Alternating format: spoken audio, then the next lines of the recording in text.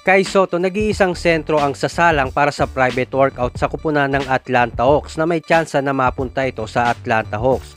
Jalen Green gusto makilala ang Pilipinas sa mundo ng basketball.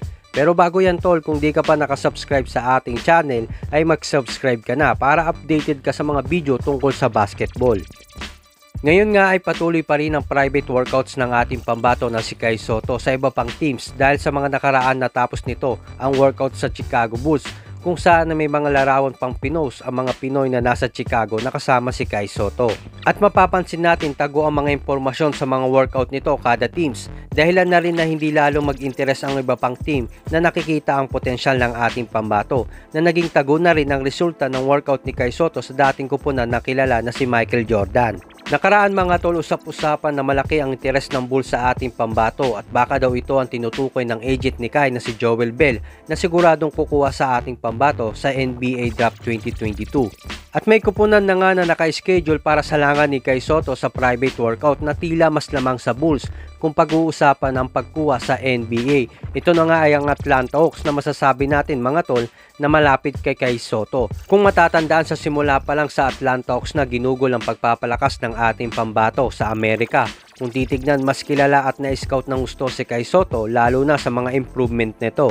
Ito pa mga tol, sa private workout ng Atlanta Hawks na si Kai Soto lamang ang nag-iisang naimbitahan na big man center na maglalaro.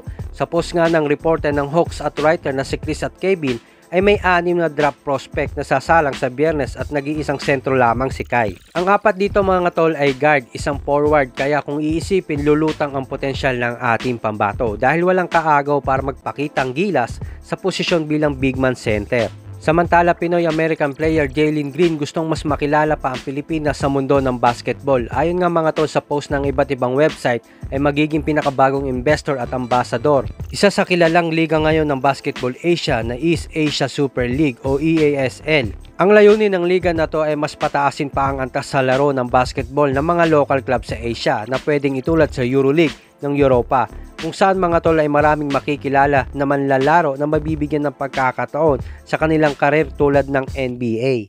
Dahil sa mabibigay ng mga pagkakataon ng EuroLeague sa kanilang manlalaro na halos karamihan ng NBA player ay galing sa EuroLeague Ayon kay Jalen Green, gusto niyang mailagay sa mapa ang Asian basketball na isa sa dahilan na makilala ang buong mundo ang Pilipinas sa larangan ng basketball. At yun lamang ang ating update. Sana nagustuhan mo ang ating video at pag-iwan lamang ng comment sa baba sa mga opinion na gusto mong sabihin. Salamat sa patuloy na pagsuporta sa ating channel.